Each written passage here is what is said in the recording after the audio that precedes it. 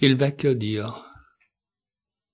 Smilzo, un po' curvo, con un abitino di tela che gli sventolava addosso, l'ombrello aperto sulla spalla e il vecchio Panama in mano, il signor Aurelio s'avviava ogni giorno per la sua speciosa villeggiatura. Un posto aveva scoperto, un posto che non sarebbe venuto in mente a nessuno e se ne beava tra sé e sé, quando ci pensava, stropicciandosi le manine nervose. Chi sui monti, chi in riva al mare, chi in campagna, lui nelle chiese di Roma. Perché no? Non ci si sta forse freschi più che in un bosco? E in santa pace, anche. Nei boschi gli alberi, qui le colonne delle navate lì all'ombra delle frondi, qui all'ombra del Signore. Eh, come si fa? Ci vuol pazienza.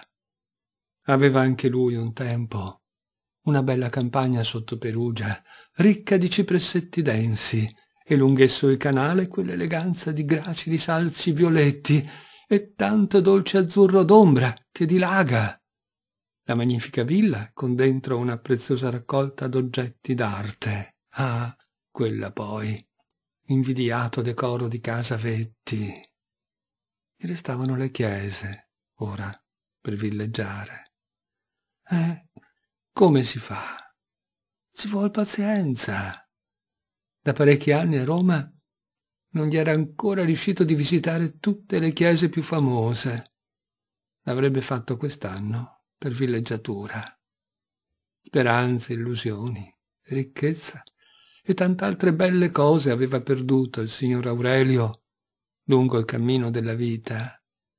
Gli era solo rimasta la fede in Dio, che era, tra il buio angoscioso della rovinata esistenza, come un lanternino. Un lanternino che egli andando così curvo riparava alla meglio, con trepida cura, dal gelido soffio degli ultimi disinganni. Errava come sperduto in mezzo al rimescolio della vita e nessuno più si curava di lui. Non importa, Dio mi vede, si esortava in cuor suo. E n'era proprio sicuro di questo il signor Aurelio, che Dio lo vedeva per quel suo lanternino, tanto sicuro che il pensiero della prossima fine non che sgomentarlo, lo confortava. Le strade sotto il cocente sole erano quasi deserte. Tuttavia per lui c'era sempre qualcuno, un monellaccio, un vetturino di stazione, che vedendolo passare col lucido cranio scoperto, la barbetta lieve tremolante sul mento e la zazzeretta grigia, tremolante anch'essa sulla nuca, gli lanciava qualche lazzo. Guarda, due barbette, una davanti e l'altra dietro. Ma il cappello in capo d'estate il signor Aurelio non lo poteva sopportare. Sorrideva anche lui al lazzo e affrettava, quasi senza volerlo, quei suoi passettini da pernice per levar la tentazione d'un altro lazzo a quegli oziosi.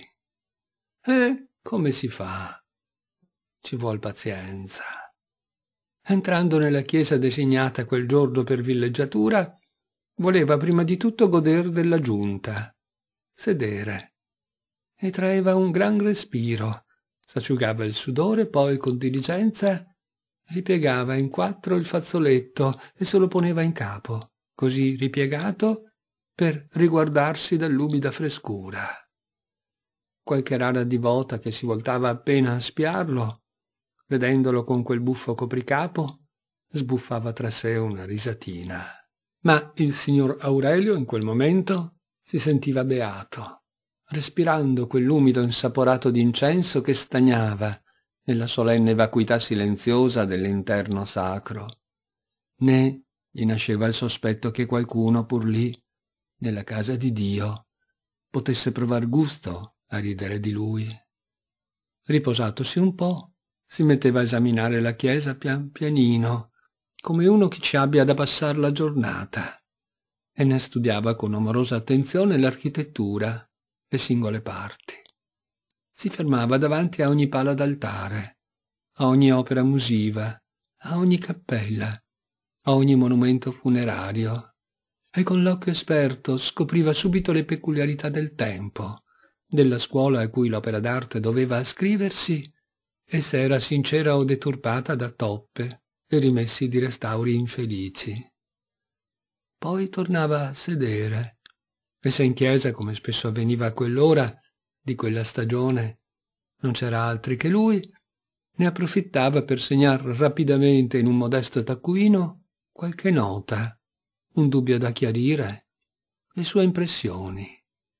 Soddisfatta così la prima curiosità e adempiuto per quel giorno il compito d'arte che si era prefisso, traeva di tasca qualche libretto da mena lettura, che per la dimensione poteva parere un libro di preghiere, e si metteva a leggere. Di tanto in tanto levava il capo per riassumere o fingersi davanti agli occhi la scena descritta dal poeta. E con quella lettura di libri profani non temeva d'offendere la casa del Signore.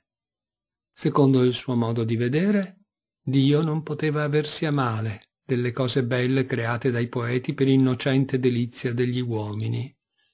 Stanco della lettura, s'abbandonava con gli occhi fissi nel vuoto e strofinando a lungo tra loro l'indice e il pollice delle due manine, alle proprie fantasie e ai ricordi degli anni perduti. Talvolta, mentre fantasticava così, tutto assorto, gli s'avvistava da una nicchietta nel pilastro di fronte qualche busto che pareva se ne stesse lì, affacciato a guardare in chiesa. Oh, faceva allora tentennando il capo con un sorriso, Te beato, amico mio, si sta bene da morti? Si levava di nuovo per leggere nell'iscrizione funeraria il nome di quel sepolto, poi tornava a sedere e si metteva a conversare con lui mentalmente, guardandolo. Siamo qua, caro il mio Hieronymus. Peccato che non sia più permesso farsi seppellire in chiesa. Mi farei scavare una bella nicchietta nel pilastro di fronte e tu di là, io di qua, tutti e due affacciati, sentiresti che belle conversazioncine. Ce l'hai di buon uomo la faccia, poveretto, e certi guai perciò mi conteresti. Ma come si fa? Ci vuol pazienza. Mi sembra però che in chiesa ti si debba star meglio da morti. Questo buon odor d'incenso, e messe e preghiere di tutti i giorni. Nel Camposanto, se vogliamo dirla, ci piove. La morte però, anche lì nel Camposanto, è una liberazione. Quando sulla terra, più che per viver bene, ci si duri per prepararsi a morir senza paura. Premi, di là il signor Aurelio non se ne attendeva. Gli bastava portarsi di qua, fino all'ultimo passo, la coscienza tranquilla di non aver mai fatto il male per volontà. Conosceva i dubbi tenebrosi accumulati dalla scienza, come tanti nuvoloni sulla luminosa spiegazione che la fede ci dà della morte. Sì, per averne fatta lettura in qualche libro, e sì, per averli quasi respirati nell'aria.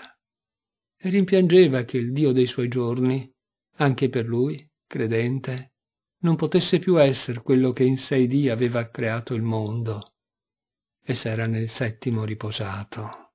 Quella mattina, entrando in chiesa, era rimasto meravigliato dall'aspetto del sagrestano. Bel vecchio, enormemente barbuto e capelluto, e orgoglioso di quel barbone lanoso e di quella chioma partita nel mezzo e ondulata sulle spalle e nei cernecchi. Bella la testa soltanto il corpo tozzo, curvo, cadente. Pareva penasse a sorreggerla con tutto quel volume di peli. Ora il signor Aurelio, riflettendo intorno alla vita e alla morte, considerando amaramente ai meschini profitti dell'anima in questo tanto decantato secolo dei lumi, rivolto quel pensiero al vecchio Dio dell'intatta fede dei padri, a poco a poco s'addormentò. E quel vecchio Dio, nel sogno, ecco che gli venne innanzi, curvo, cadente, reggendo a fatica sulle spalle la testa enormemente barbuta e chiomata del sagrestano della chiesa.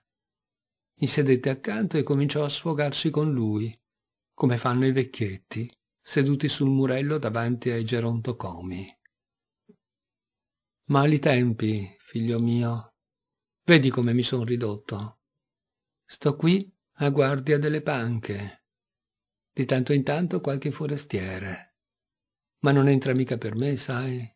Viene a visitare gli affreschi antichi e i monumenti. Monterebbe anche sugli altari per veder meglio le immagini dipinte in qualche pala. Mali tempi, figlio mio. Hai sentito? Hai letto i libri nuovi? Io, Padre Eterno, non ho fatto nulla. Tutto si è fatto da sé, naturalmente, a poco a poco. Non ho creato io, prima la luce, poi il cielo, poi la terra e tutto il resto come lo avevano insegnato nei tuoi gracili anni. Che che? Non c'entro per nulla io. Le nebulose, capisci? La materia cosmica. E tutto s'è fatto da sé. Ti faccio ridere. Uno c'è stato finanche un certo scienziato il quale ha avuto il coraggio di proclamare che, avendo studiato in tutti i sensi il cielo, non vi aveva trovato neppure una minima traccia dell'esistenza mia. Di un po'. Te lo immagini questo pover'uomo che armato del suo cannocchiale s'affannava sul serio a darmi la caccia per i cieli, quando non mi sentiva dentro il suo misero coricino? Ne riderei di cuore, tanto tanto, figliuolo mio, se non vedessi gli uomini far buon viso a siffatte scempiaggini. Ricordo bene quando io li tenevo tutti in un sacro terrore, parlando loro con la voce dei venti, dei tuoni e dei terremoti. Ora hanno inventato il parafulmine, capisci? E non mi temono più. Si sono spiegati il fenomeno del vento, della pioggia e ogni altro fenomeno. E non si rivolgono più a me per ottenere in grazia qualche cosa. Bisogna che io mi risolva a lasciare la città e mi restringa a fare il Padre Eterno nelle campagne. Là vivono tuttora, non dico più molte, ma alquante anime ingenue di contadini, per cui non si muove foglia d'albero se io non lo voglia. E sono ancora io che faccio il nuvolo e il sereno. Su su andiamo, figliuolo. Anche tu qua ci stai maluccio, lo vedo. Andiamocene. Andiamocene in campagna, fra la gente timorata, fra la buona gente che lavora. A queste parole il signor Aurelio nel sogno sentiva stringersi il cuore, la campagna, il suo sospiro. La vedeva come se vi fosse, ne respirava l'aria balsamica. Quando a un tratto si sentì scuotere e aprendo gli occhi stordito, oppresso di stupore, si vide davanti vivo e spirante il Padre Eterno, proprio lui, che gli ripeteva ancora Andiamo su, andiamo. Ma se è tanto che barbugliò il signor Aurelio con gli occhi sbarrati, atterrito dalla realtà del suo sogno. Il vecchio sagrestano scosse le chiavi. Andiamo, la chiesa si chiude.